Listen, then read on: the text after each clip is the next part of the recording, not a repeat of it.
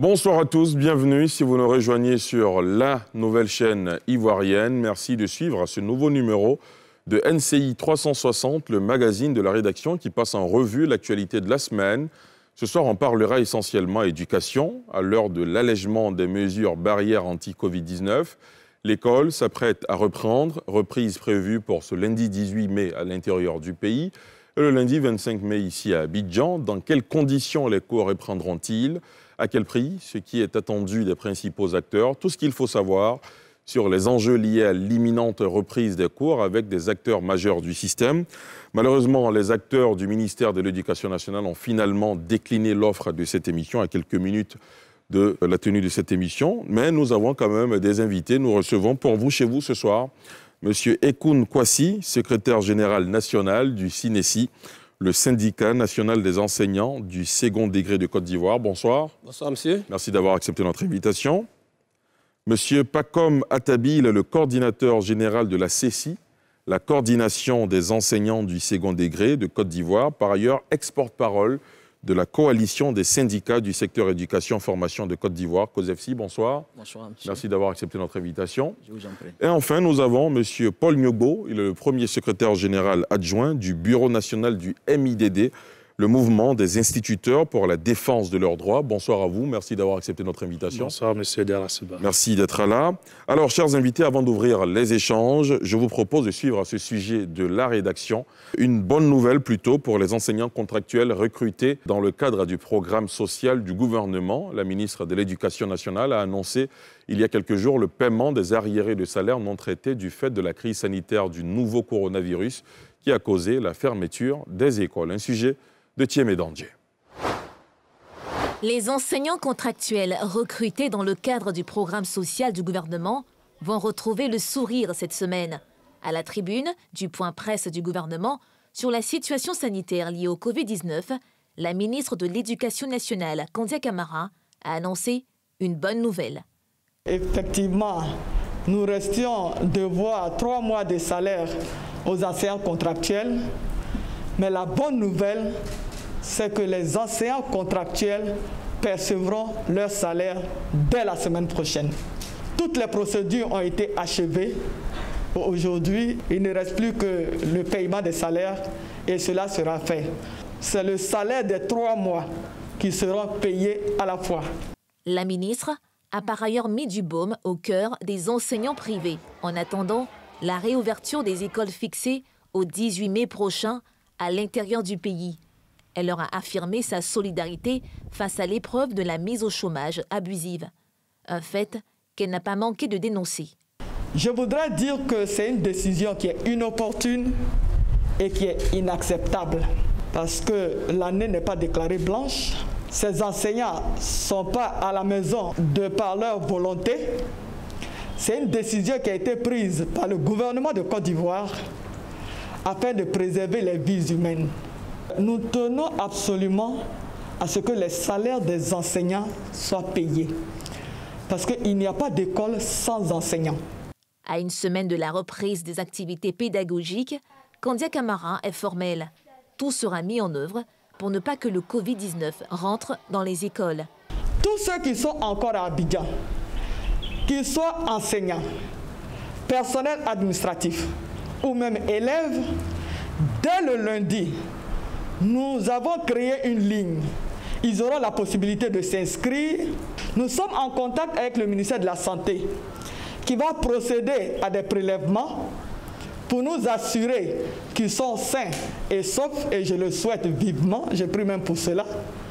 Une fois qu'ils auront leurs résultats négatifs, nous allons organiser leur départ vers l'intérieur du pays et cela en relation étroite avec le ministère de la Sécurité. Des kits sanitaires et des dispositifs de lavage systématique des mains vont être mobilisés pour les enseignants et les élèves. Retour sur le plateau de NCI 360. Comment vous réagissez à ce reportage dans lequel on voit la ministre de l'Éducation nationale se prononcer sur plusieurs sujets, notamment la situation des enseignants contractuels. Ils recevront le paiement de leurs arriérés de trois mois de salaire dès la semaine prochaine. Comment vous réagissez? C'est plutôt une bonne nouvelle? Effectivement, c'est une très bonne nouvelle. Après trois mois, trois mois d'attente de salaire et que finalement le gouvernement décide de leur reverser, c'est une très bonne nouvelle parce que travailler sans salaire pendant un trimestre, c'est vraiment difficile. Les enseignants ne peuvent pas donner le meilleur d'eux-mêmes. Ils sont plus préoccupés à chercher comment se, soigner et se nourrir. Et donc, leur rendement, sûrement, sera en baisse. Donc, si le gouvernement a décidé maintenant, vaut mieux tard que jamais, de reverser euh, vraiment euh, les salaires de nos collègues, c'est une très bonne nouvelle qu'on salue. Mais il faut qu'à l'avenir, ce soit mensuel pour que les camarades puissent être efficaces dans les classes, pour que les résultats dont on attend d'un enseignant puissent vraiment être euh, au bout de cet effort-là. Sinon, ça sera difficile, difficile. Quand on n'a pas de salaire, je vous assure que aller dans une classe, c'est le corps qui y est, mais l'âme est ailleurs. Monsieur Atabi Oui, effectivement, c'est une très bonne nouvelle euh, d'annoncer le paiement des PDM des enseignants contractuels parce que ce n'est pas le salaire, voilà, c'est des PDM qu'on leur donne. Pourquoi ce n'est pas le salaire?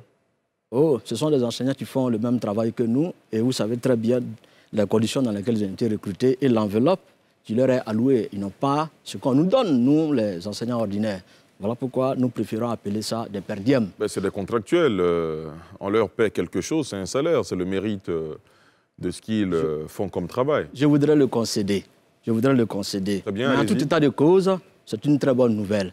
Et nous avons du mal à comprendre pourquoi le paiement de ces salaires-là, si vous le souhaitez bien, dure ainsi. Dans la mesure où, avant de recruter, on fait une programmation.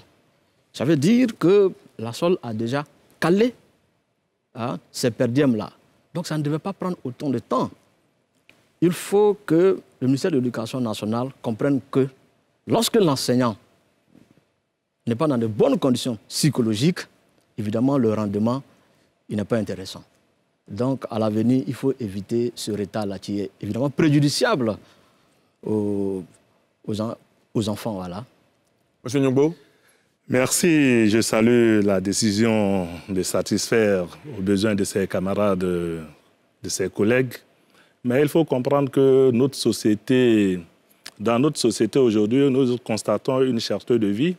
Et l'autre élément, aujourd'hui, lorsque tu annonces dans ta famille que tu travailles, tu n'es plus à la charge de la famille.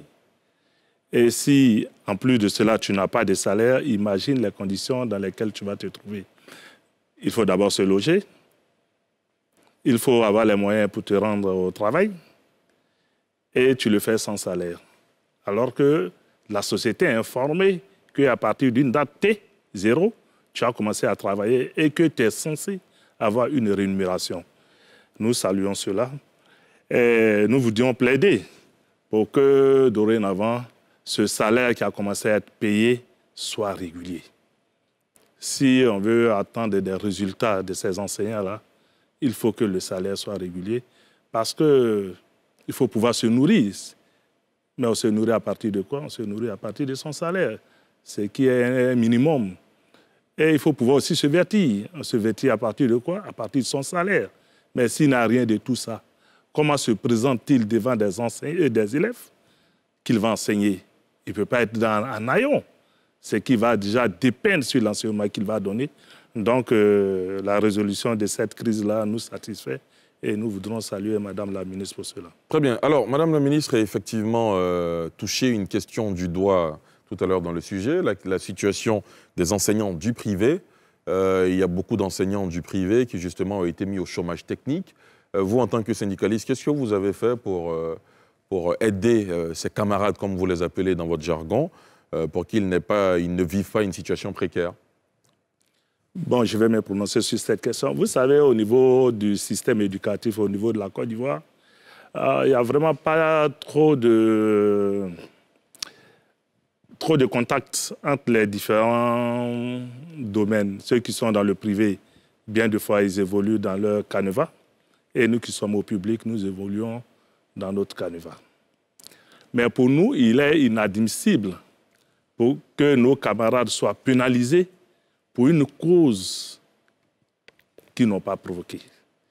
Donc, euh, notre souhait, quelles que soient les difficultés au niveau des fondateurs, aussi bien au niveau de l'État, les deux devaient conjuguer leurs efforts pour que ces camarades-là soient prêts à reprendre le travail. La, volonté de l'État est clairement indiquée. non, bien de fois, ce que les promoteurs évoquent, c'est qu'ils ne reçoivent pas les subventions qui doivent venir de l'État. Donc, n'ayant pas suffisamment de, moyens, eux, ils ne peuvent pas faire face aux charges qui s'imposent à eux. Donc, au regard de cela, n'ayant pas suffisamment de moyens pour faire face à, à leurs charges, ils sont obligés de dégraisser ou bien de diminuer leurs dépenses pour pouvoir tenir. Donc, voilà un peu ce qui explique les difficultés qu'ils rencontrent lorsque nous échangeons avec eux. C'est quoi si Oui, écoutez, euh, en Côte d'Ivoire, ici, nos syndicats du public ne prennent pas en compte les préoccupations euh, de, nos collègues du privé. Et donc, euh, nous, syndicats du public, c'est vrai, on regarde avec amertume ce qui se passe de l'autre côté, mais notre préoccupation première, c'est de s'occuper de nos préoccupations, des préoccupations de nos camarades du public. C'est cela. Donc, euh, pour être franc, on n'a pas... Vous ne faites pas preuve de solidarité dans le cas d'espèces C'était difficile. C'était difficile parce que nous-mêmes, vous connaissez aussi nos problèmes qui sont là pour lesquels nous battons tous les jours et qu'il n'y a pas encore de, de, de véritables solutions. Mais il faut regretter euh, l'acte qui est posé parce que euh, nous, parents d'élèves, un seul jour euh, où tu n'as pas payé ta scolarité, ton enfant est jeté dehors. Et fin mars, déjà, les fondateurs arrêtent de payer nos collègues. Et comme Nugo l'a dit, cette situation, nul ne l'a voulu. Et je suis heureux que Madame la ministre fasse une injonction aux fondateurs pour que nos collègues soient payés. Sinon, c'est inadmissible. Et je crois que bientôt, comme les contractuels, eux aussi recevront quelques mois, ça fait pratiquement deux mois qu'ils attendent pour qu'ils puissent reprendre dans de bonnes conditions psychologiques. Tu as ta vie Oui, il faut le souligner, comme l'ont dit mes prédécesseurs, nous sommes des organisations, nous, la CECI et la COGEFCI, des organisations du secteur public. Voilà, ce que nous avons pu faire pour nos camarades du privé, bien évidemment, a été d'entrer en contact avec leurs organisations syndicales leur apporter... Et quel a été le retour? Euh, Le retour n'est pas positif.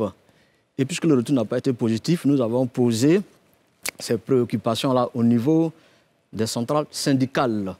Parce qu'il faut le souligner clairement, nous sommes également hein, acteurs de différentes centrales syndicales. Moi, par exemple, je suis à la Fédération des syndicats autonomes de Côte d'Ivoire, Confédération générale, donc la FESACI, et là-bas, nous avons participé à plusieurs séances de travail avec euh, le gouvernement, le, Premier ministre Bali à sa tête. Hein, et à ces séances de travail, nous avons demandé que soit regardé avec un œil bienveillant, hein, la préoccupation de nos camarades euh, du privé.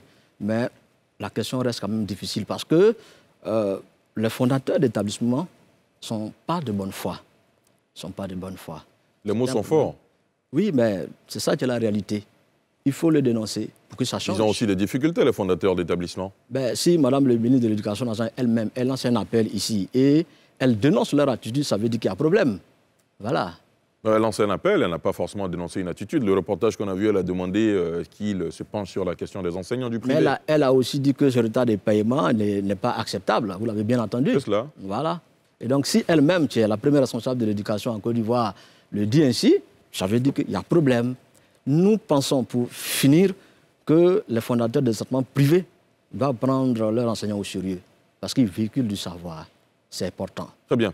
Alors, le gouvernement a décidé de la réouverture des écoles euh, à partir de ce lundi, donc 18 euh, mai, euh, à l'intérieur du pays. Vous représentez des enseignants sur l'ensemble du territoire ivoirien. Comment vous réagissez à cette volonté de rouvrir les écoles à l'intérieur du pays ce lundi? Oui nous, oui. nous, saluons, nous saluons la réouverture des écoles, puisqu'il a été constaté qu'à l'intérieur du pays, il n'y a aucun cas de Covid-19. C'est cela. Donc, euh, pour nous, il n'y a pas de raison que l'école ne reprenne pas. Cependant, il est question aux enseignants et aux élèves qui sont à Abidjan de retourner. Mais il faut bien organiser leur retour. On va y arriver. Je voulais déjà que vous prononciez sur... Euh, cette mesure de reprise de l'école à l'intérieur ah, nous, Nous saluons cela, nous saluons cela, mais... C'est aussi votre avis, M. Kwasi? Effectivement, nous saluons la reprise à l'intérieur, mais il y a deux reprises. Celle d'Abidjan, vraiment, n'a pas la même vision. Parlons déjà de celle de l'intérieur du pays. Là, nous euh, saluons la reprise à l'intérieur du pays. D'accord. Les enseignants sont prêts à reprendre les cours. Ceux qui sont à Abidjan, euh, vous avez un retour. Comment se, comment se passe leur retour justement à l'intérieur du pays? Oui, mais c'est sur ça que j'avais voulu Allez-y, allez-y, allez-y. Alors, je disais que l'enseignement est un domaine très essentiel. Très essentiel. Donc, le retour de nos camarades doit être organisé de manière spéciale. Qu'est-ce que vous entendez par spécial Oui, mais il faut. On n'a pas idée du nombre d'élèves qui sont à Abidjan et du nombre d'enseignants qui sont venus lorsqu'il y a eu la fermeture des écoles. Lorsqu'il y a la fermeture des écoles, les enseignants vont dans tous les sens et beaucoup viennent sur Abidjan pour des raisons diverses. Lorsqu'ils doivent retourner à l'intérieur du pays, il faut pouvoir d'abord les recenser dans des conditions spécifiques. Il faut, parce que le texte était une conditionnalité, donc il faut bien organiser le texte en dehors de la masse populaire. Vous voulez parler du test euh, de du dépistage COVID-19, oui, le anti-Covid-19? dépistage, il doit être organisé dans... Mais Le test, la mesure du test a été suspendue. Oui, elle a été, au départ, ça a été, c'était une nécessité. C'est cela Ça a été suspendu. Il y a la question du retour. Parce que pour retourner, il faut une permission pour quitter Abidjan. Mais là même, il y a encore des risques. Parce que ceux qui quittent Abidjan, sont-ils malades? Ne sont-ils pas malades Parce que la maladie n'a pas encore disparu Le- au niveau d'Abidjan? Absolument. Le ministère de la Santé a indiqué que les districts sanitaires déployés sur l'ensemble du territoire pourront les prendre en charge si éventuellement il y a un mal, s'il y a des symptômes. Oui, mais je ne sais pas, parce qu'on n'est pas, on pas informé sur les dispositions qui sont prises au niveau de l'intérieur du pays. Donc vous touchez du doigt un problème d'information. Il y a un problème d'information et puis il y a un risque véritable de maladie, de contagion générale. Parce que quelqu'un quitte Abidjan, il est enseignant, on ne sait pas dans quelles conditions il retourne à l'intérieur du pays. Il n'est pas contrôlé, il n'y a rien du tout. Et il arrive, il doit prendre des élèves. Mais vous imaginez ce que ça peut provoquer, comme peut-être que la pandémie n'a même pas encore atteint son pic si on laisse faire ainsi. Monsieur Kwasi, je vous voyais hocher de la tête. Oui, euh, le retour pour nous euh, est très mal organisé. Si- Pourquoi euh, Oui, parce que si on demande aux collègues Parce de que vous retourner- n'avez pas été associé Non, si on demande aux collègues de retourner aujourd'hui, c'est pour aller reprendre les classes. Et si on reprend les classes à l'intérieur aujourd'hui, c'est parce que depuis le 21 avril, on a dit qu'il n'y a plus de cas à l'intérieur du pays. Et donc, retourner dans ces, dans ces conditions, c'est prendre d'énormes risques. C'est prendre d'énormes risques. Parce qu'il ne faut pas ouvrir pour que l'école serve de cadre de propagation du virus. Pourquoi vous pensez que l'école servira de cadre de propagation? Mais si les acteurs qui y sont ne sont pas dépistés négatifs, il y a le facteur risque, parce que le, le- le risque zéro n'existe pas. Donc pour nous, retourner comme ça, il y a assez de risques de contamination des villes de l'intérieur. Donc pour vous, clairement, on ne devrait pas euh, suspendre, Suspendre la mesure du euh, test. du test de dépistage. Oui. Il fallait peut-être... Bon, on a vu qu'il y avait trop Ça crée un engorgement dans les centres de dépistage. il fallait aussi. réorganiser les choses. Il fallait multiplier, j'allais dire, les, les- les tables de- d'accueil, de, dépistage. Je ne dis pas encore de multiplier les centres, mais dans un centre, que d'avoir deux ou trois tables de dépistage, on peut aller à une dizaine, à une vingtaine pour, ne- pour désengorger. On pourrait mieux organiser. Sinon, il y a de réels risques que les établissements qui vont s'ouvrir maintenant à l'intérieur du pays propagent le virus et qu'on revienne fermer définitivement. C'est pourquoi il dit que c'est vrai, il faut ouvrir, mais il faut faire attention à l'ouverture. Très bien. Merci. Concernant la réouverture des écoles et la reprise euh, des cours, contrairement à la position de mes camarades, la cause FCI, organisation à laquelle euh, est affilié le syndicat que j'ai l'honneur de diriger, la CECI, n'est pas du même avis. C'est quoi nous votre avis? Trouvons, nous trouvons qu'il n'est pas indispensable de rouvrir l'école. là. Vous savez, aujourd'hui, la valeur fondamentale qu'il faille préserver, c'est la vie. Dans ce sens, tout ce qui est activité économique peut repartir. Parce que si tu as faim, tu peux en mourir. Si tu n'as pas d'argent pour faire face à- bien d'autres pathologies, tu peux également en partir. Mais l'école peut un peu attendre. L'école peut encore attendre. Vous pensez à une année blanche? Non, je ne pense pas à une année blanche. Le temps juste de maîtriser la maladie avant de rouvrir l'école. Vous voyez, vous dit qu'on ne maîtrise pas la maladie? Oui, à ce moment-là. Par rapport euh, aux autres zones, notamment en Europe, euh, où il y a beaucoup plus de morts, ici, euh, on a beaucoup plus de guéris que, de, que de personnes euh, qui pâtissent, euh, qui meurent de cette maladie. Donc, euh, c'est une sorte de maîtrise aussi, vous ne vous le pensez pas? C'est là que je regrette un peu l'absence sur ce plateau de techniciens de la santé pour nous expliquer hein, pourquoi, au moment où la maladie, sinon le nombre de cas est en hausse, on nous dit que la maladie est maîtrisée. Moi, le profane, je n'arrive pas véritablement à le comprendre. Donc il aurait fallu qu'il y ait un technicien sur le plateau pour nous l'expliquer. C'est cela. Alors, nous trouvons difficile à comprendre la réouverture de l'école, en ce sens que même si à l'intérieur du pays, il n'y a plus de cas déclarés positifs, cela ne signifie pas l'absence de, euh, de- cas d'infection. D'autant plus que lorsque tu pas encore fait le, tant que tu n'as pas encore fait le test, tu ne peux pas être déclaré positif ou négatif. Mais il peut y avoir des gens à l'intérieur du pays qui ont la maladie. Alors, deuxièmement, il, aura une interaction, il y a une interaction entre Abidjan et l'intérieur du pays. Même si Abidjan est isolé, mais il y a tout de même une interaction. Et avec la dynamique de réouverture, vous comprenez tout de suite que le retour massif d'élèves qui étaient en Abidjan et d'enseignants va se faire. Et ceux-là, s'ils sont porteurs du virus, comment ça se passe arriver à leur poste? L'école est un excellent vecteur de propagation du virus. Il faut faire un peu attention. On a pu remarquer que partout, dans les pays où le, déconf- le déconfinement a été précipité, mais la maladie est repartie. Il faut faire attention. Donc, pour nous, chez CIECOSEFSI, nous sommes toujours Quand vous dites euh, l'école peut attendre, euh, euh, si dans six mois, dans huit mois, on n'a pas encore maîtrisé, euh, comme vous l'entendez, maîtrisé comme vous l'entendez la maladie, on fera jamais, on rouvrira jamais l'école. Mais, Monsieur Darasouba, en 1990, à quoi est-ce que nous avons assisté ici Hein? On a fait près de six mois sans aller à l'école et après, on a poursuivi, une mais le ciel n'est pas. c'est pas une crise sanitaire. Mais je pense même que la crise sanitaire est encore plus grave que la situation exceptionnelle de 1990. En 2011, si je ne m'abuse, ou bien en 2012, l'université a fermé durant une année. Il a eu quoi? Non.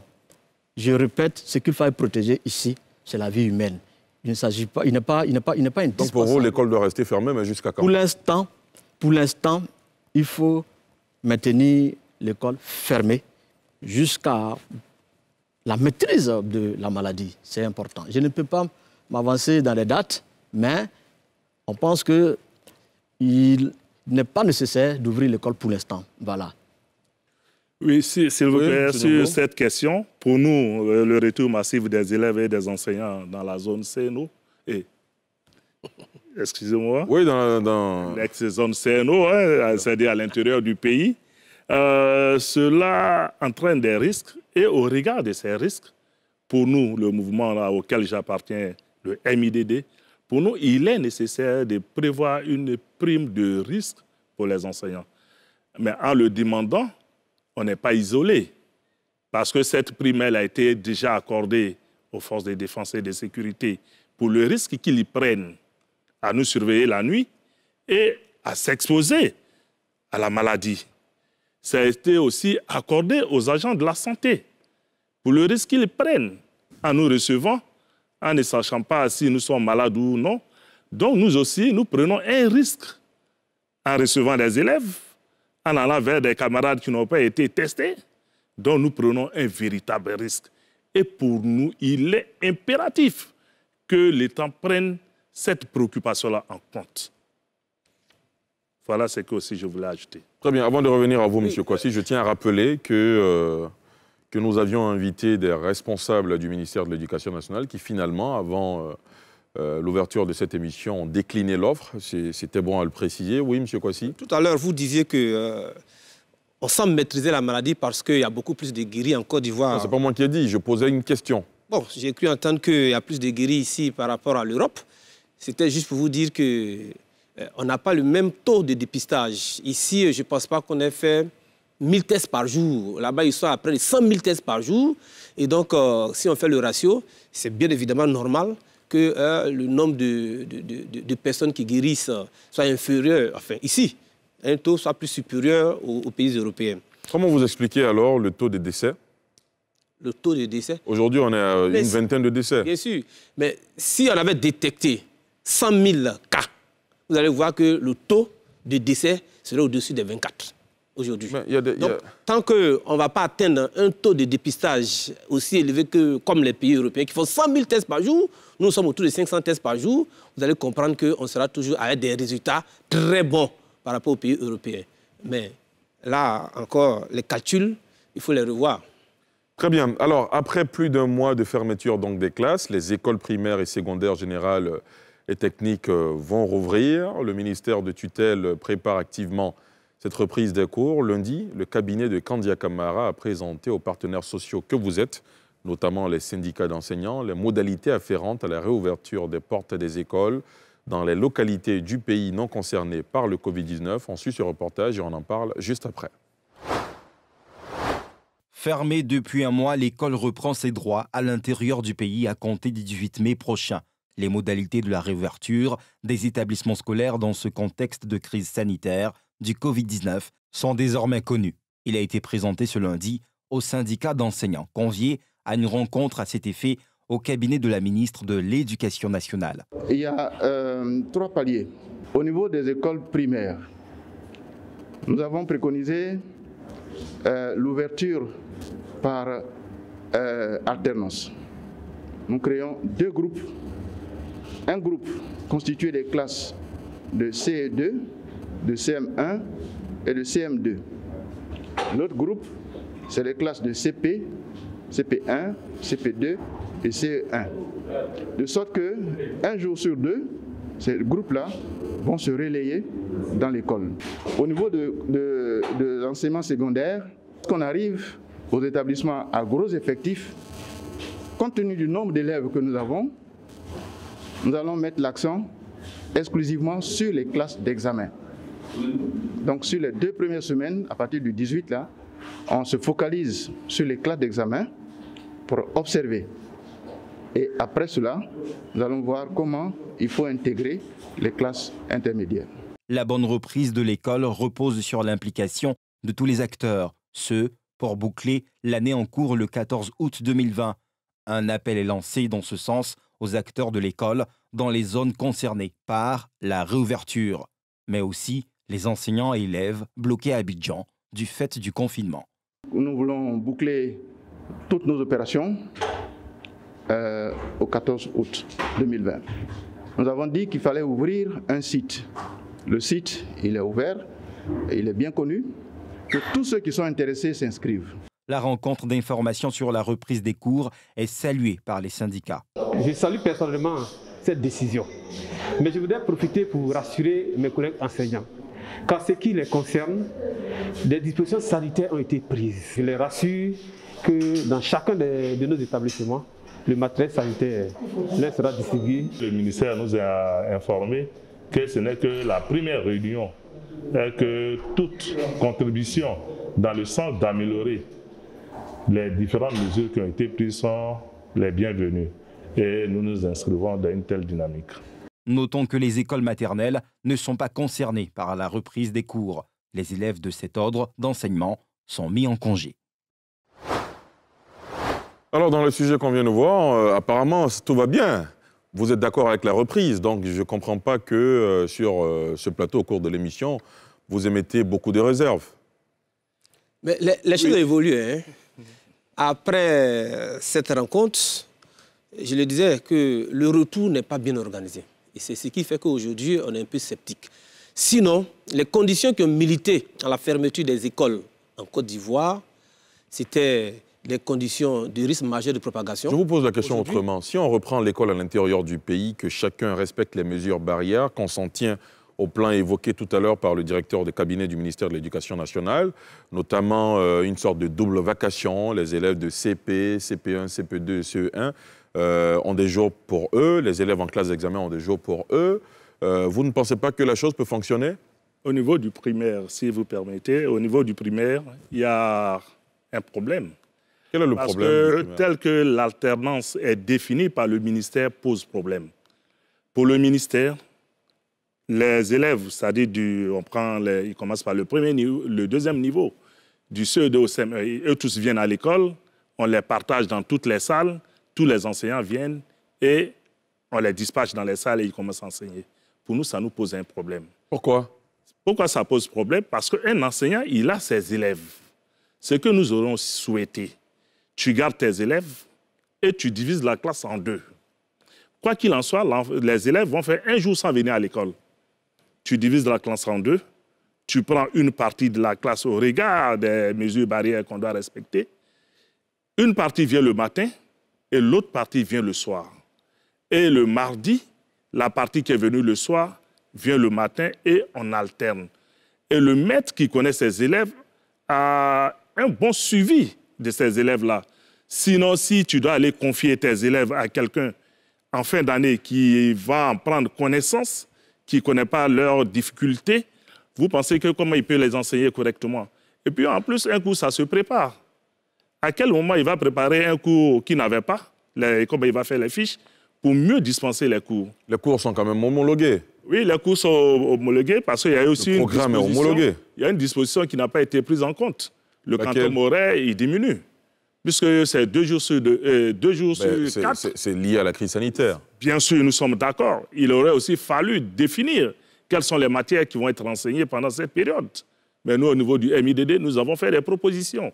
Et nos propositions, au moment où je parle, sont en train de partir vers le ministère. Ben donc voilà, donc euh, je veux dire, il y a une discussion, il y a une volonté de tous les acteurs d'aller de l'avant, de Oui, rouvrir nous- l'école. Nous, nous inscrivons, nous nous inscrivons dans la mouvance de la réouverture des écoles, mais nous n'apprécions pas tel que c'est fait. Cette rotation qu'il propose va poser plus de problèmes. Selon votre lecture. Selon notre lecture et puis selon notre réalité, parce que c'est nous qui sommes à l'école. C'est cela. C'est nous qui sommes à l'école, c'est nous qui vivons les réalités de l'école. Et je le dis, c'est comme, euh, voilà, M. Ekoun Kwasi, il est professeur, euh, il est au, lycée- il est au deuxième niveau, c'est-à-dire professeur des lycées, mais aussi euh, le collège.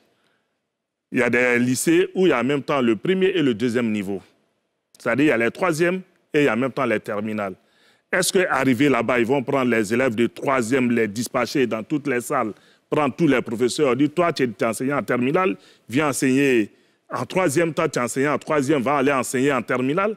Vous voyez, c'est aussi glace. Mais est-ce que, Ça est-ce peut que, être profitable pour très bien, l'école. très bien. Vous le dites comme ça. Est-ce que fondamentalement, euh, vu que nous sommes dans une situation où on est tenu de s'adapter tous en ce qui nous concerne, est-ce qu'un élève, un professeur, je veux, je veux prendre l'exemple que vous évoquiez tout à l'heure, un professeur qui enseigne euh, en terminale, on lui demande de venir suivre un programme connu à l'avance pour des classes de troisième. Est-ce que fondamentalement, ça pose un problème Dites-nous?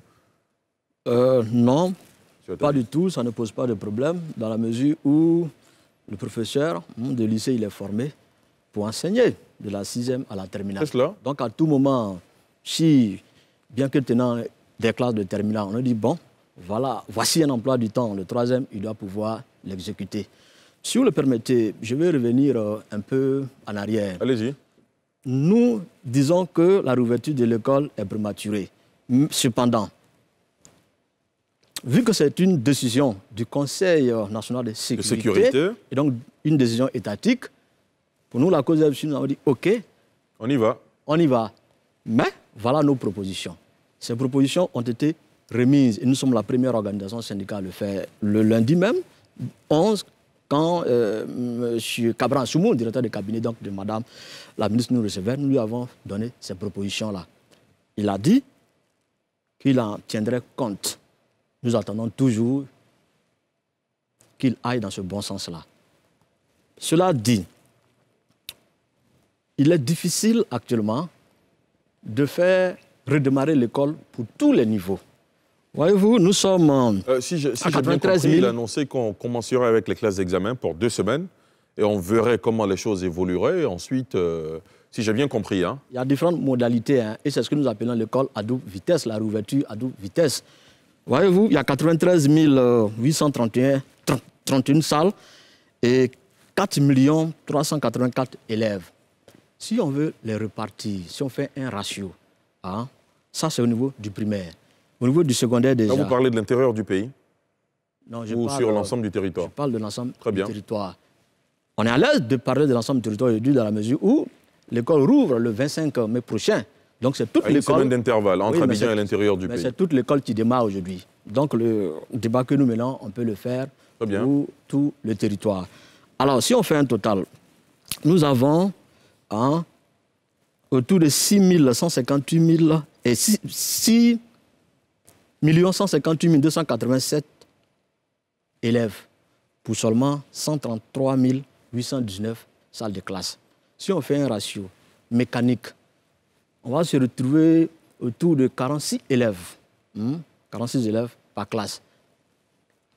Avec la, la mesure de distanciation humaine, il faudrait faire en sorte qu'il y ait un mètre entre deux tables bancs.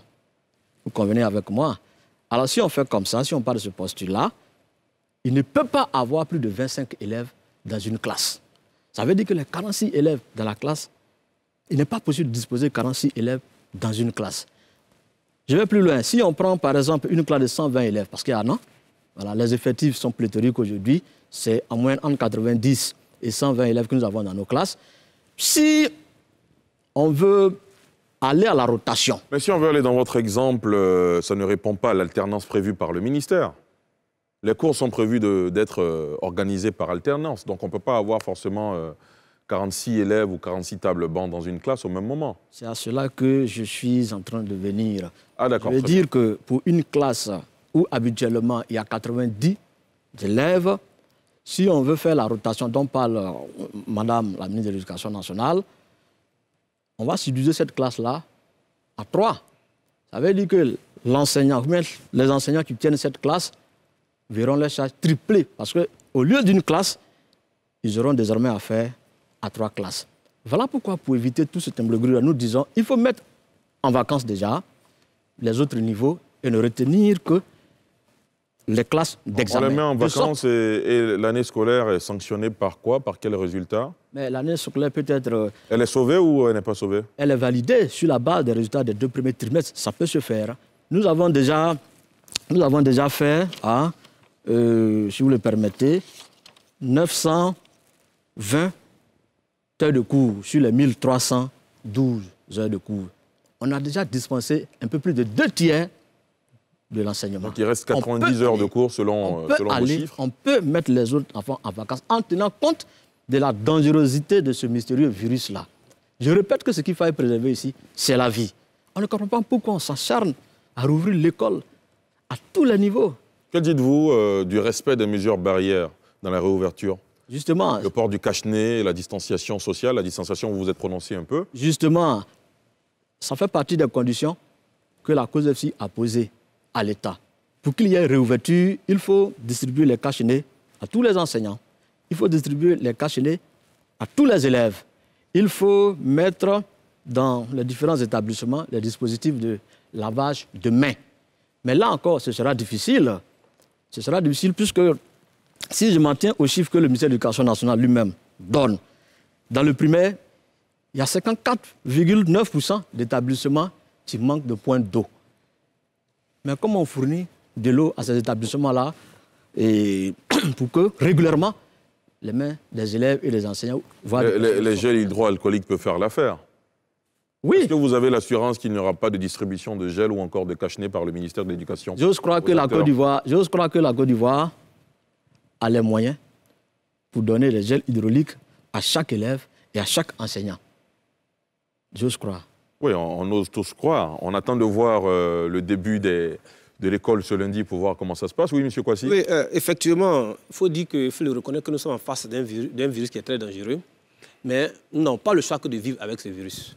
C'est pour ça que nous disons que pour nous, si les conditions de sécurité sanitaire sont réunies, c'est-à-dire les masques sont distribués gratuitement à chaque enseignant, la multiplication des points de lavage de mains régulés dans les établissements. Ou les gels hydroalcooliques. Ou les gels hydroalcooliques. Si ces conditions sont réunies, on peut réussir l'année scolaire à l'intérieur du pays où les experts nous ont dit qu'il n'y a aucun cas de contamination jusqu'au jour d'aujourd'hui. C'est différent pour la ville d'Abidjan, où nous avons une autre vision de la réouverture des écoles. Et peut-être que tout à l'heure, on va aborder la réouverture dans la ville d'Abidjan. C'est cela. Oui, moi, je, je, voulais revenir sur une proposition avant de me prononcer sur tout à l'heure, je disais, lorsque j'ai expliqué pourquoi un enseignant au niveau du primaire, c'est une autre mentalité par rapport au secondaire. Et je le dis, pour nous, il est essentiel que l'enseignant garde ses élèves, que les élèves là soient divisés en deux groupes. Il prend un groupe matin, il prend un autre groupe le soir, pour respecter les mesures barrières. Vous souhaitez qu'on privilégie la fidélisation des enseignants et leurs élèves parce que la... Parce que vous estimez que les professeurs, les enseignants connaissent mieux leurs élèves euh, oui, qu'une autre personne parce que ça fait comme il est temps, depuis le début de l'année, vous êtes ensemble, vous connaissez les forces et les faiblesses de vos élèves. Donc vous pouvez mieux les suivre. Aujourd'hui, il nous reste combien de temps pour aller en congé? Et c'est en ce moment-là qu'un nouveau maître va venir prendre tes élèves pour pouvoir les suivre. Il a combien de temps pour déceler les carences de cet élève-là et y apporter des solutions et mieux le suivre? Je pense que euh, si on met l'orgueil un peu de côté, et tout ça, on peut dire que ce que nous proposons n'est pas aussi bête que ça. L'autre élément que je voulais ajouter... Non, avant, avant que vous ne passiez à l'autre euh, élément, est-ce qu'il est prévu, euh, tel que vous l'indiquez, est-ce qu'il est prévu que les maîtres soient changés Est-ce que c'est clairement indiqué oui, oui, la, stratégie le, directeur, par le ministère? Le directeur de cabinet l'a énoncé. Et la proposition que nous sommes en train de faire, nous l'avons faite. Alors, s'il si arrive que le ministère décide de, faire comme vous le souhaitez, de faire en sorte que les maîtres gardent leurs élèves, vous n'avez pas de problème? Non, il n'y a pas de problème. Ça va faciliter l'apprentissage. Très bien. Parce qu'il y a un premier contact d'imprégnation entre l'élève et le maître. Le nouveau maître qu'il va rencontrer va mettre au moins une ou deux semaines d'imprégnation avant de dérouler correctement son cours. Donc c'est pour ça que nous disons, pour éviter cette période d'imprégnation, il est mieux que l'enseignant garde ses élèves et on divise la classe en deux. Quoi qu'il en soit, ça ne change pas euh, le canton horaire qu'ils auront à faire au de, tel que c'est défini par le gouvernement là, va être respecté. Il n'y a, pas de perte et puis il n'y a pas de repos. On va respecter le canton horaire tel qu'il a été défini, mais ce qui est intéressant ici, c'est qu'on a nos élèves et on continue l'apprentissage avec eux. Maintenant, l'autre élément sur lequel je voulais venir, c'est la question des conditions mhm. qui ont été annoncées par le directeur des cabinets tout à l'heure, c'est-à-dire la mise à disposition du matériel de protection. Moi, je voudrais demander, si une école n'a pas reçu le matériel de protection, que font les élèves et les enseignants? Parce que c'est une question qui risque de créer des conflits entre l'administration et les enseignants. Les enseignants arrivent un matin, il n'y a rien. Alors, dans le, matériel n'est pas encore arrivé. Qu'est-ce qu'ils font? Dans le meilleur des mondes, avant d'attendre euh, les moyens mis à la disposition par l'État-providence, je le dis comme ça, euh, chacun doit se protéger. Donc, si les élèves et professeurs viennent déjà protéger, c'est tant mieux. Ce que je voulais ajouter, vous savez, euh, au niveau de la Côte d'Ivoire, on n'a pas tous les moyens. Absolument. Il y a vraiment des élèves indigents les parents ne pourront pas satisfaire ces besoins de, euh, de, matériel en termes de barrières par rapport à la protection de la maladie. Ils n'ont pas les moyens. Et ces enfants-là vont venir à l'école. Qu'est-ce qu'on fait? Qu'est-ce qu'on fait? Parce que cette question, elle est fondamentale. Elle va créer forcément des frictions entre l'administration et les enseignants. Si l'enfant arrive, il n'a aucun matériel, on le laisse en classe on prend le risque de le laisser en classe. Qu'est-ce qu'on fait? Ça aussi, c'est une question, je la pose comme ça, pour que les autorités en tiennent compte. En tiennent compte pour nous dire qu'est-ce qu'on doit faire dans un tel cas, parce qu'au cours de cette réunion-là, ce cas-là n'a pas été développé. Donc, c'est pour ça qu'on l'expose. Très bien. Vous voulez réagir, M. Atabi Oui, effectivement, je veux réagir pour dire tout simplement que vous voyez que le débat, hein, ils cherchent sur des hypothèses. C'est cela. C'est la preuve que cette rouverture de l'école n'est pas maîtrisée. Cela dit, nous avons l'obligation, étant donné que nous sommes des agents de l'État, d'accompagner l'État de Côte d'Ivoire dans sa réouverture de l'école. Tout à fait. Voilà. Et pour ce faire, nous demandons à l'État d'être, de veiller sur les conditions de sécurité des enseignants et des élèves. C'est un plaidoyer que vous faites? Oui, c'est un plaidoyer que nous faisons. Mais en même temps, étant entendu que nous sommes une organisation syndicale, donc de défense des droits des travailleurs, nous disons à nos camarades, après concertation, OK, on y va. Mais si d'aventure vous constatez que les conditions sécuritaires ne sont pas réunies, vous vous retirez de ça de classe. Il est important qu'on le souligne ici sur ce plateau-là. Parce que nul ne veut courir à une mort certaine, il faut préserver sa vie. C'est également cela que nous demandons à l'État d'octroyer une prime Covid-19 aux enseignants. C'est important. Il y a la psychologie même. Hein. qui accompagne cette reprise-là. L'enseignant n'est pas serein. Mais comme il est un agent de l'État, il est obligé d'y aller quand même. Deuxièmement, le risque de contamination est extrêmement élevé. On dit qu'il faut respecter les mesures barrières et tout ça, mais quand, après une évaluation, l'enseignant va à la maison avec une centaine de copies d'élèves, vous ne pensez pas que là, il y a un risque? Est-ce que ces copies-là seront désinfectées? Il y a beaucoup trop d'incertitudes. En somme, l'enseignant est confronté à un risque potentiel. Donc il faut lui octroyer une prime de risque. Et puis, la charge de travail augmente ici. La charge de travail augmente. Je l'ai déjà démontré. Euh, non, pas moins d'élèves, pas moins d'élèves, pas moins d'élèves. Puisqu'on fait l'alternance, on fait la rotation. Tout à fait. Pour une classe donnée qui avait, j'ai dit n'importe quoi, 80 élèves, on va faire en sorte que si on le divise à tout le moins par deux, on prend 40, après on prend 40. Pour le même cours, ça fait une double charge.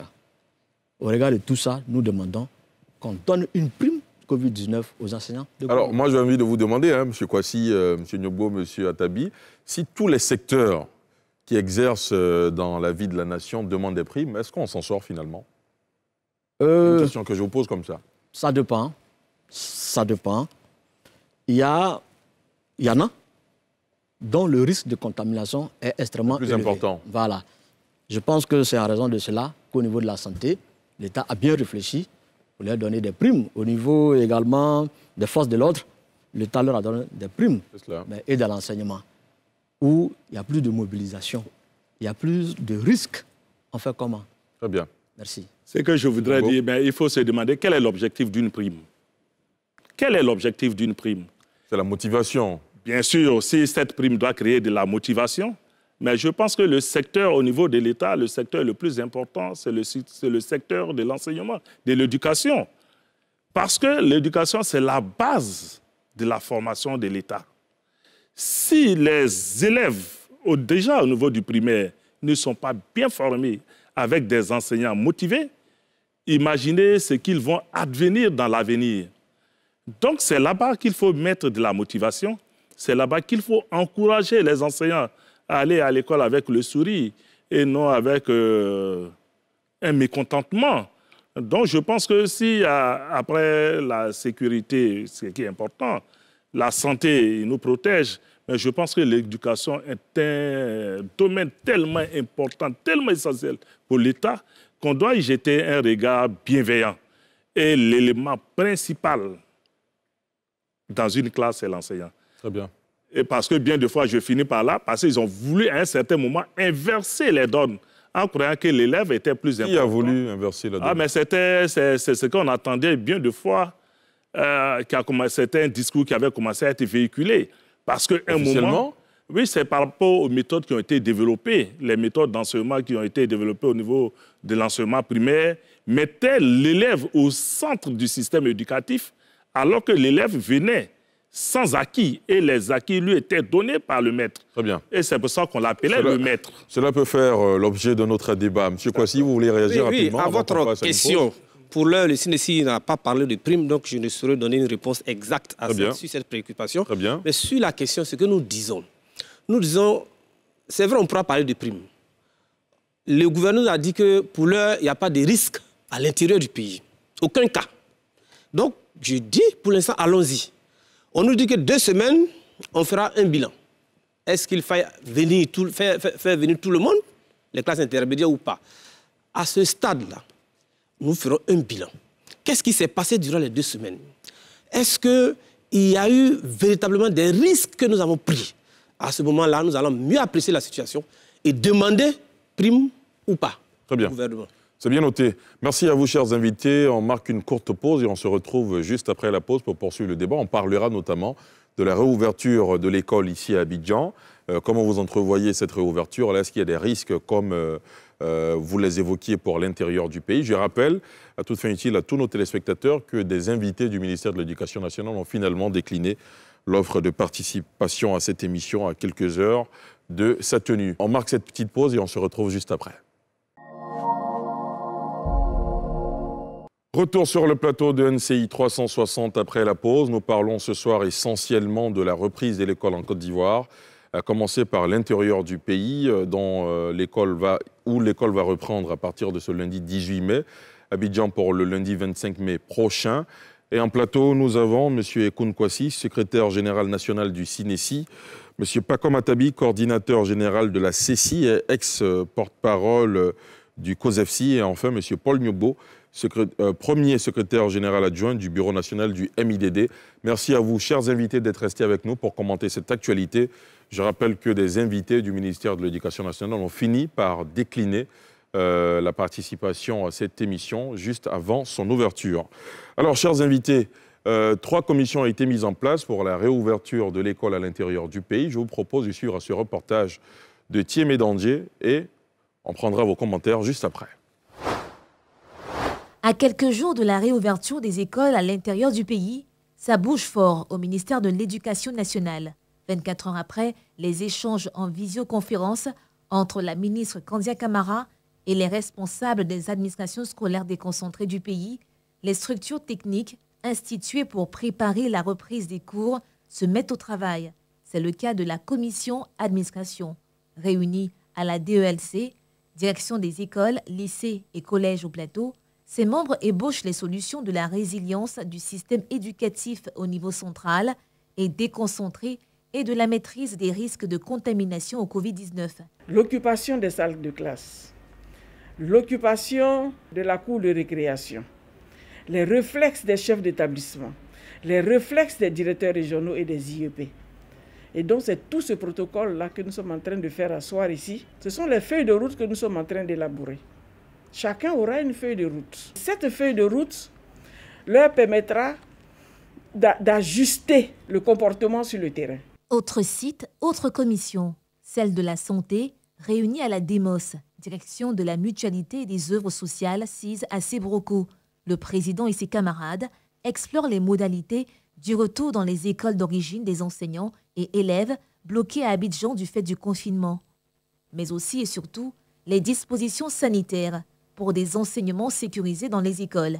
Il s'agit dans un premier temps de voir comment organiser de façon saine et sécuritaire tout en respectant les mesures barrières le convoyage de ces personnels et élèves vers leurs différentes destinations. Pour ce qui est de la phase sanitaire proprement dite, il s'agit de rédiger un protocole qui décrit le trajet de l'élève de l'entrée de l'établissement pendant les cours et après les cours.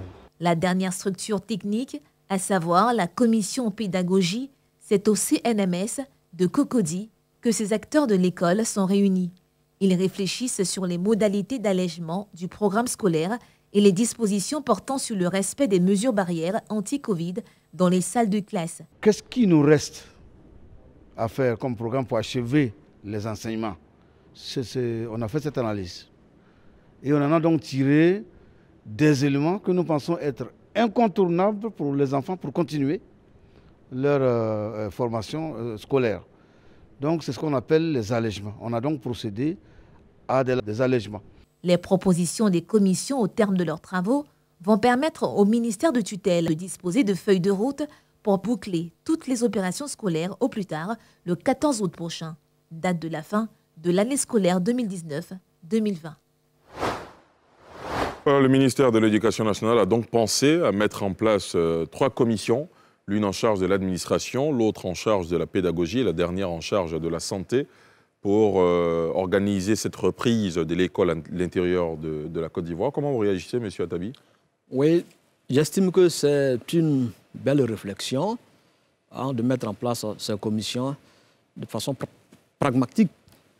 Cependant, nous notons que nous, les partenaires sociaux, ne sommes pas impliqués dans cette réflexion-là. C'est ce qui pose... On a vu au cours de cette émission un reportage dans lequel vous avez été euh, convié à une rencontre par le directeur de cabinet du ministère. Si vous avez bien vu, si vous avez bien regardé l'élément qui a été diffusé, ce n'était qu'une rencontre d'information. C'est-à-dire que tout a été décidé en amont, sans nous, contre nous. Vous avez aussi indiqué que vous avez fait des propositions. Et on nous a simplement porté l'information. C'est nous-mêmes, dans notre volonté d'aider, de contribuer nous avons réfléchi à des propositions que nous avons portées.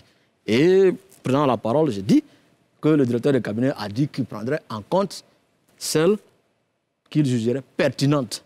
C'est une très bonne chose. Mais en règle générale, au ministère de l'Éducation nationale, les partenaires sociaux ont toujours été royalement ignorés. Vous voyez, pour relancer l'école dans un environnement sanitaire comme celui de la COVID-19, je pense qu'il est judicieux d'impliquer les organisations syndicales, les partenaires sociaux à la réflexion. Mais ça manque. Et je voulais vraiment le regretter. Je regrette encore plus le retrait des représentants du ministère de l'Éducation nationale euh, de ce débat, dans la mesure où ce plateau aurait été une très belle occasion de confronter les arguments. Nous n'avons pas toujours la chance de le faire à la maison. Donc on l'aurait fait ici, à la face de la nation, pour voir les limites de certaines initiatives. Malheureusement, ils ont décidé de se retirer et je le regrette bien. Alors, oui, un petit commentaire euh, sur ce qu'on vient de voir. Ah, vous, vous voyez, pour moi, la réflexion précède l'action. Mais nous constatons que la réflexion va se faire après l'action. Parce que l'école va ouvrir bientôt, mais la réflexion n'est même pas finie sur ce qu'il va être le contenu des programmes enseignés. Donc c'est ce que je regrette un peu. C'est ce que je voudrais ajouter sur cette question. Très bien. M. Kwasi? Bon, euh, je crois que dans le souci de réussir la rentrée, le cabinet s'active en mettant en place certaines commissions. Euh, nous attendons de voir euh, le contenu de ces commissions et voir vraiment comment est-ce que ça pourra réellement s'appliquer sur le terrain. Il nous dit qu'ils vont alléger les programmes. On va voir. On va tous, dès le lundi, on aura le contenu et on va mieux apprécier les conclusions de ces différentes commissions. Mais euh, tout à l'heure, vous, vous indiquiez que la réflexion va se poursuivre, mais on a entendu euh, les responsables de commission parler d'ajustement de programme. Ça veut dire qu'il y a une réflexion antérieure qui a été menée.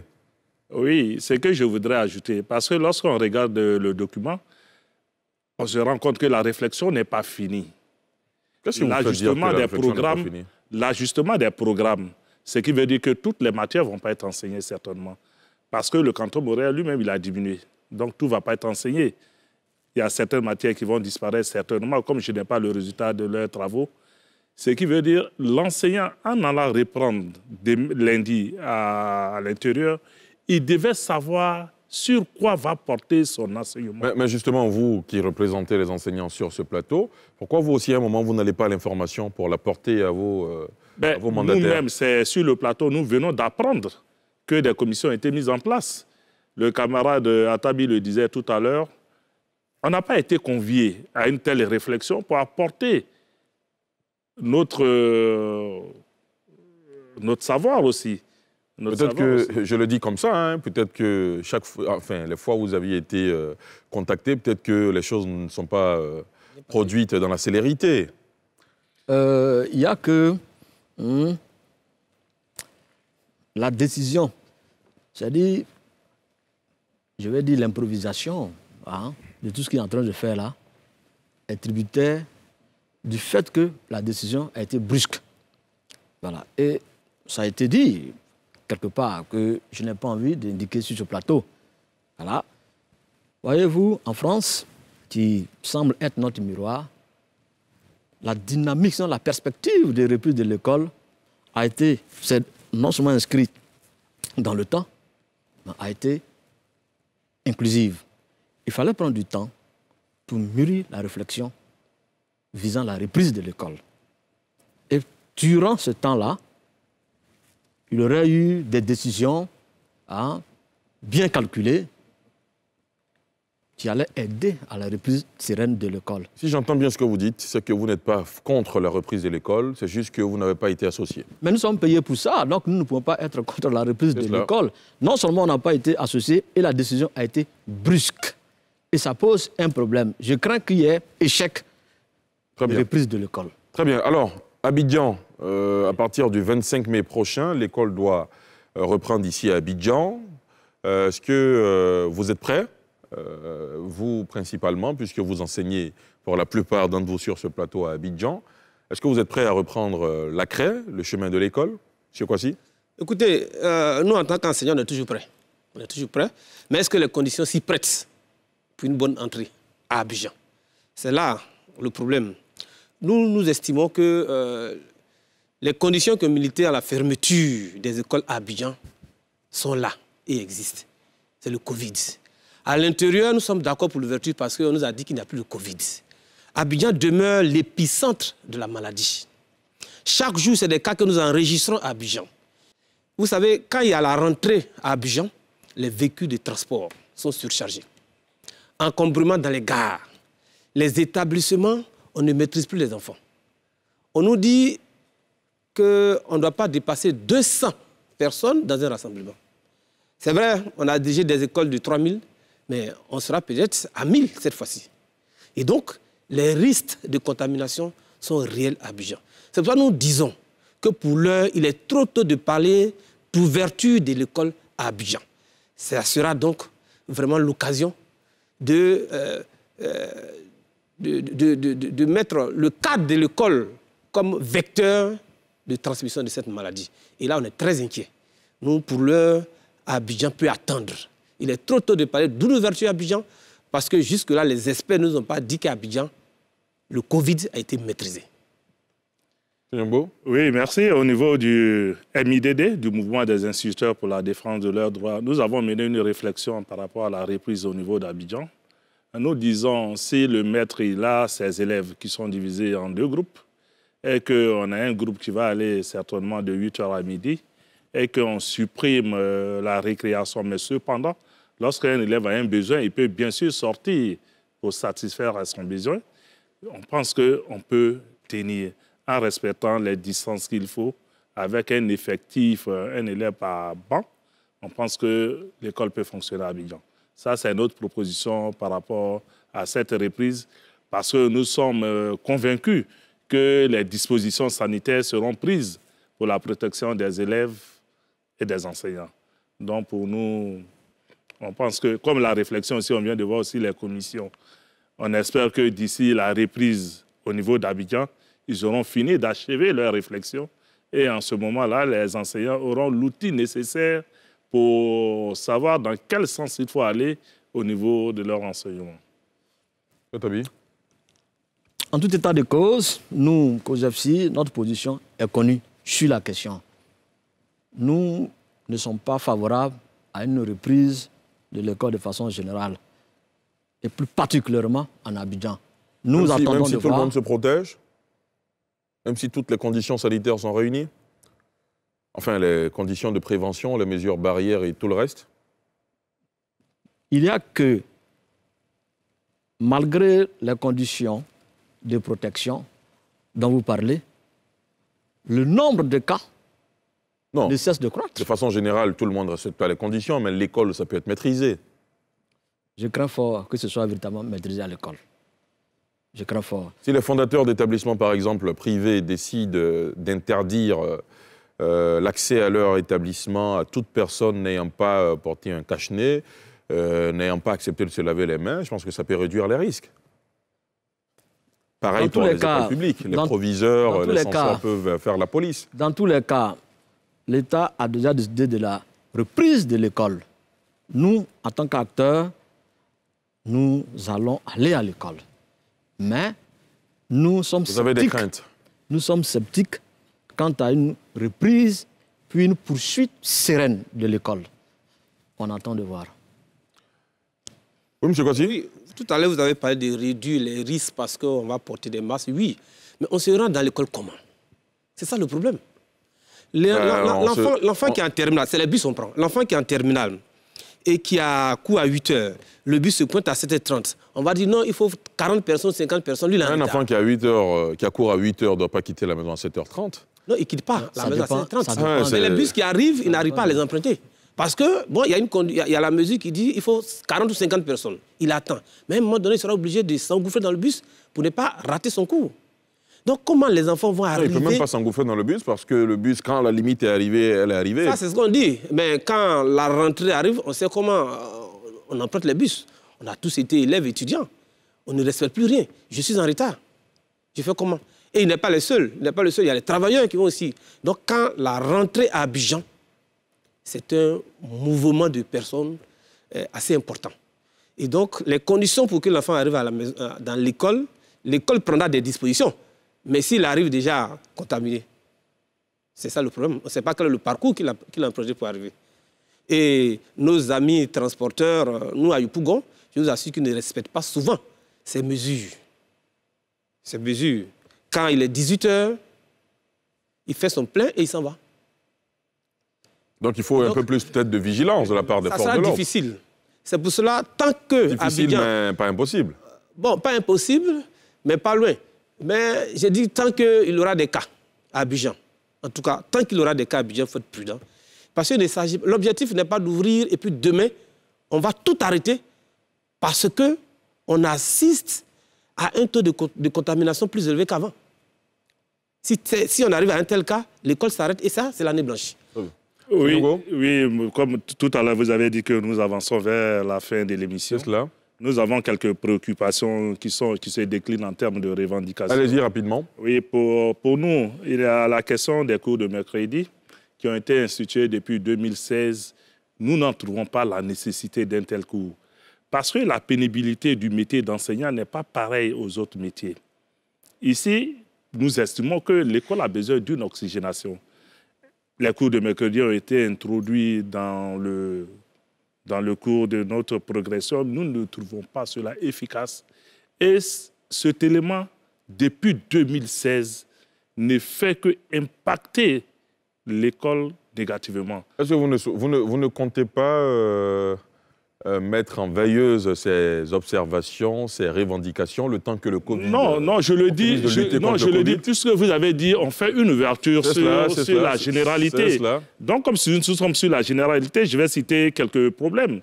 Par exemple, on a des camarades depuis 2010 qui ont eu leur concours professionnel, le concours du CAP, et jusqu'à présent, de 2010 à 2020, ça fait 10 ans que leur situation n'est pas régularisée.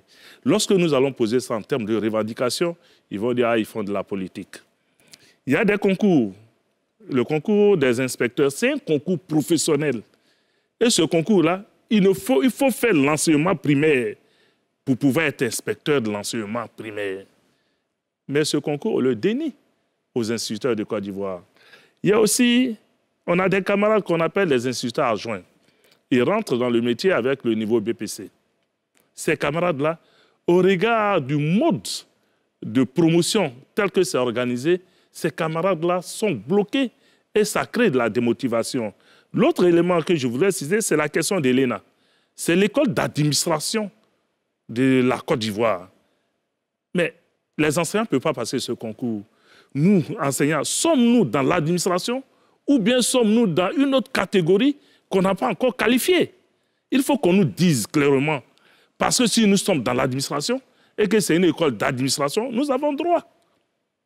On n'a pas besoin même de revendiquer. Il devait avoir une régularisation d'une euh, telle injustice. Et ça a perdu depuis des années. Quand nous allons faire une revendication, ils vont dire on fait de la politique. On a des camarades, l'année dernière, ils ont été titularisés. Mais leur donner le numéro de leur matricule. Ils sont plus de 3000. Ce n'est pas encore fait. Quand nous allons revendiquer, ils vont dire on fait de la politique. On a des camarades qui ont leur matricule, qui n'ont pas leur appel. Sur plus de deux ans, quand on va revendiquer, ils vont dire on fait de la politique. Vous avez 30 secondes pour terminer. Oui, je finis totalement pour dire que... Et puis, il y a la question même en affaire des grèves. Quand tu fais une grève, on dit c'est les jours ouvrés qui sont payés. On fait une grève de trois jours, on nous prend tout notre salaire. Que dit la loi? Mais appliquons la loi.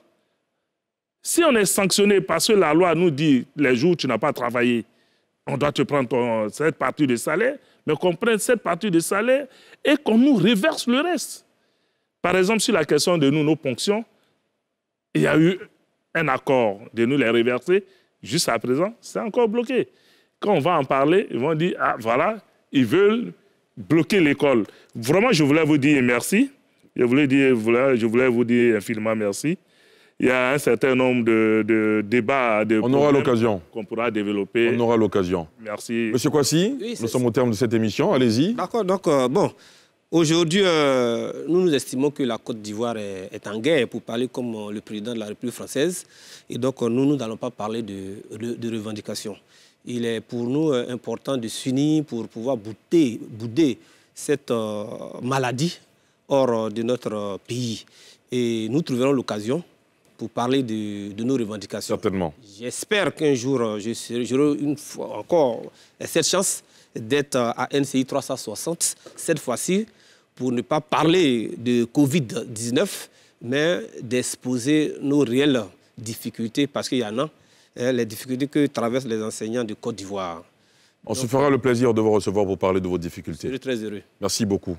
Monsieur Atabi Déjà, euh, je veux demander que Madame le ministre de l'Éducation nationale accepte hein, de payer les deux mois de salaire qu'elle a retenus en janvier et en février, parce que nous avons pleinement travaillé dans ce contexte euh, de Covid-19 euh, où l'argent se fait rare, il est important hein, que ceux-là sortent du trou dans lequel ils sont plongés depuis janvier 2019. Deuxièmement, on voudrait insister sur le droit de retrait des enseignants en Côte d'Ivoire. S'ils vont à l'école pour exécuter la décision de l'État, qu'ils se rendent bien compte que les conditions sanitaires ne sont pas réunies et que cela menace leur vie, voire la vie de leur famille, on pense que mieux vaut vivre. Par conséquent, il faut se retirer des salles pour aller à la maison. Je pense que ça ne devrait pas avoir pour conséquence la suspension des salaires. Parce que dans ce pays, nous sommes très prompts à frapper, à suspendre les salaires. Ce n'est pas du tout bon. Oui à la reprise partielle de l'économie, parce que nous le disons, nous le répétons, nous le soulignons à grands traits, la faim et le dénouement financier menacent la vie tout autant hein, que euh, la COVID, le Covid. Je sais pas, la Covid, le Covid, je ne sais plus trop. Les deux expressions sont acceptées aujourd'hui. Les gens nous mélangent, voilà. Donc, euh, tout autant que le Covid. Il faut faire répartir l'économie, mais l'école peut encore attendre. L'école peut attendre que les choses, selon l'état sanitaire de la pandémie, aillent dans le bon sens. Il faut également éviter de diffuser le savoir à double vitesse. Il y a une partie, tu vas à l'école, l'autre attend, certains suivent le cours en ligne, alors qu'on sait très bien que tous les enfants n'ont pas accès à l'outil informatique. Il y a des villages où il n'y a pas d'électricité le cours en ligne, ou bien la radio, la télévision, ça se fait comment pour ces enfants-là? Il faut attendre sereinement. Concentrer nos efforts sur euh, la riposte contre cette maladie-là. Quand ce sera bon, on peut rouvrir l'école. On a fermé l'université ici durant une année. Le ciel ne nous est pas tombé sur la tête et les choses se passent bien. Aujourd'hui, pour la vie, on peut à quoi attendre? C'est notre mot de fin. Merci infiniment à vous, chers invités, d'avoir accepté notre invitation pour aborder la question de la réouverture de l'école euh, à l'intérieur du pays d'abord et ensuite à Abidjan. Nous avons eu beaucoup de plaisir à échanger avec vous. Merci à vous, chers téléspectateurs, d'avoir suivi ce numéro de NCI 360. Je vous souhaite de passer une excellente soirée sur la nouvelle chaîne ivoirienne.